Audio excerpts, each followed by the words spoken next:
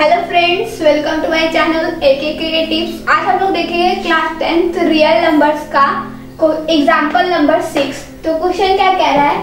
Find the LCM and HCF of six and twenty by the prime factorization method हम लोग को HCF और LCM निकालना है सिक्स और ट्वेंटी का प्राइम फैक्टराइजेशन मेथड से। तो चलिए प्राइम फैक्टराइजेशन मेथड से पहले एच निकालते हैं। एच निकालना है तो हम लोग अलग अलग निकालेंगे। पहले सिक्स का टू थ्री जा सिक्स, थ्री वन जा थ्री, अब ट्वेंटी का।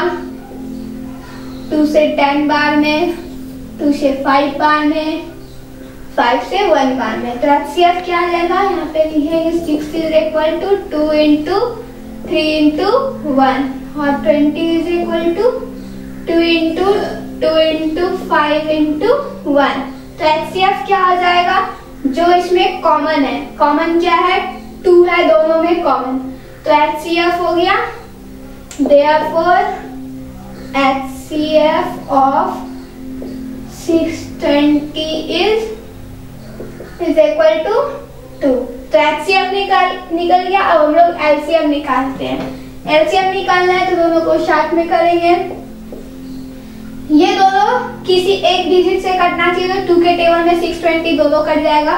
टू थ्री जा सिक्स टू टेन जा ट्वेंटी तो अब इसके आगे तो डिवाइड होगा नहीं क्योंकि कोई भी ऐसा टेबल नहीं है जिसमें दोनों थ्री और टेन है तो एलसीएम क्या हो जाएगा? LCM is equal to two into three into ten तो एलसीएम क्या हो गया? टू थ्री जा six six into ten sixty तो एलसीएम हो गया सिक्सटी तो आई होप आप लोग को एग्ज़ाम्पल नंबर सिक्स समझ में आएगा अब आगे देखते हैं हम लोग एग्ज़ाम्पल नंबर सेवन लोग देखते हैं example number seven example number seven का क्वेश्चन क्या कह रहा है?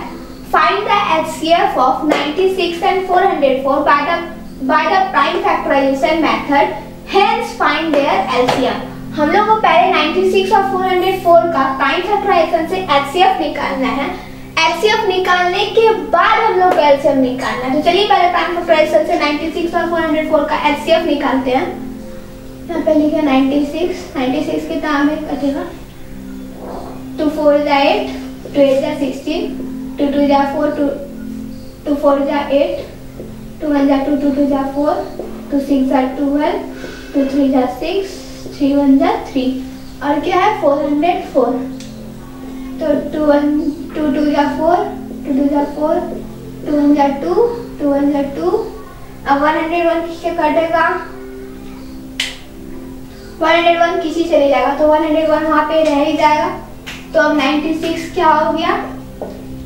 One two three four five है।